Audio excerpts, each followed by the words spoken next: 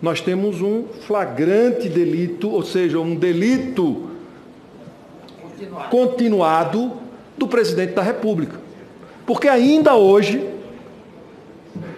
ainda hoje, ele declara que vai fazer um decreto para acabar com as restrições impostas por prefeitos e governadores, impedindo que aquilo que se mostrou mais eficaz na expansão da, do contágio e da pandemia, que é o isolamento social, deixe de acontecer. Ele foi indicado para mim pelo presidente. Ah, indicado pelo presidente da República. Isso. Só queria colocar que eu não falei que ele era altamente qualificado. Sim, só falei que, que ele tinha tido uma evolução, é, né? Já que ele ouvir, teve que é que do meu lado. verdadeiramente acha. Né? Então isso é uma coisa importante. É, e como, na posição de ministro, eu acho que seria mais adequado um conhecimento maior sobre gestão em saúde tem que ser um enfrentamento Brasil, não é um enfrentamento do Ministério da Saúde, porque a gente tem pessoas pobres, a gente tem pessoas que vivem em lugares aglomerados no seu dia a dia, pessoas que moram várias pessoas num único cômodo, em um lugar com pouco espaço. Então, quando você faz um programa desse, isso é um programa que vai envolver você fazer o teste, você vai ter que isolar, você vai ter que dar condição para quem não tem condição de se isolar, você vai ter que rastrear, talvez você tenha que usar é, medidas tipo assim, uso da telefonia para você conseguir acompanhar quem teve do lado, quem foi, quem ficou, vai fazer quarentena, essa pessoa também tem que ser protegida, ela tem que ter condição de se isolar. Então, é muito complexo você conseguir fazer um sistema funcionar a ponto de regredir significativamente as mortes que a gente teve.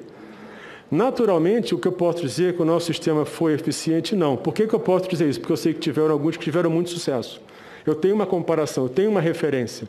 Agora, é óbvio que em condições ideais, a realidade seria diferente.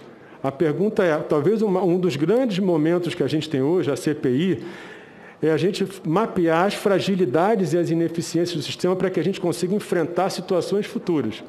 Porque nada é mais importante do que estar preparado. Ninguém consegue se preparar da noite para o dia para uma situação como essa. Obrigado, Tatashi.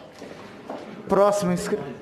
Senador Tasso, agradeço ao senador Tasso. Essa CPI precisa discutir muito seriamente essa tese, porque se isso é verdadeiro, se o presidente da República fez tudo o que fez dentro de uma concepção de que quanto mais gente se contaminasse no espaço de tempo mais curto possível, era o melhor caminho, porque não iria haver custos, se manteria aí o equilíbrio fiscal e, ao mesmo tempo, isso seria efetivo. Seria imunização natural. Exatamente. Eu, inclusive, juntamente com o senador Rogério, já pedimos aqui a convocação ou convite do deputado Osmar Terra, talvez o, o maior disseminador dessa teoria sem fundamentação. E eu quero expressar o meu pessoal apoio, meu voto aqui na porque eu acho que essa tese foi a grande responsável pelos 410 mil mortos que temos até agora. E mais, se essa tese é verdadeira, ela representa um crime doloso contra a vida humana no nosso país. Então, eu quero em todas as reuniões dessa CPI, eu vou abordar essa temática porque eu acho que é isso que a CPI precisa comprovar ou não comprovar. Só não entendo por que tanto medo das vozes femininas aqui, Ciro e Marcos. Está vendo? É por Vamos isso lá, que nós presidente. não queremos, presidente. Fiz um apelo de ouvir a representação de uma senadora da República. Não é uma, não é um, eu não estou fazendo nenhum favor, não. Eu estou dando Agora, eu pedi para a gente conversar é, daqui a pouco. E não Perfeito, é concessão, perfeito. não, é, Pela é ordem, compensação. Senhor presidente, se a bancada feminina quer assento nessa comissão para agir como titulares da comissão, forme, pegue o bloco e forme um partido político e terão assento nessa comissão como membros titulares. Ao contrário disso. Senador Marco Rogério, eu entrei do mesmo jeito que o Podem senhor. falar. Eu entrei nessa casa do mesmo jeito que o senhor, senador. Senadores e Votos senadoras. legítimos, voto da população. Eu diria que no final eu percebi ao longo daquele período, e eu não precisava de um período longo para perceber isso, que eu não teria a autonomia necessária para conduzir como eu acreditava fosse a forma mais correta. Então, qual foi a real causa, o real motivo da- do seu pedido de demissão?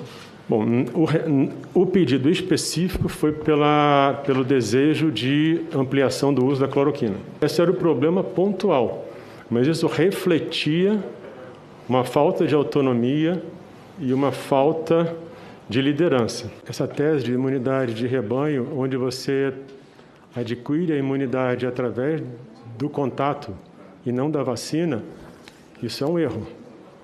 A imunidade você vai ter através da vacina, não através da, de pessoas sendo infectadas. Então, isso aí é, não é um conceito correto.